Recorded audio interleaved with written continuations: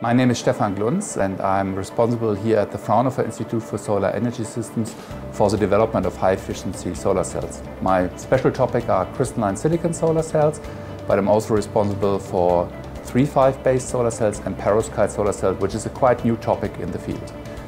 And my main responsibility in the courses is to establish the link between the university courses and the Fraunhofer Institute, which is mainly focusing on research.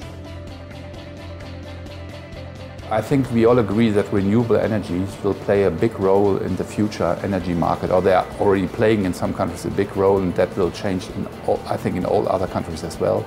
And that's uh, a very important topic for the next generation. This has just started. But we have to understand that we have to deliver or develop the technology uh, for that, and that's our course about.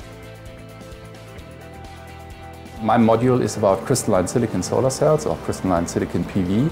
And if you look to the market, we see that about 90% of our solar cells are produced from crystalline silicon. So it's really the main technology. It was the main technology for the last decades, and it will stay like that for the next 10, 20 years.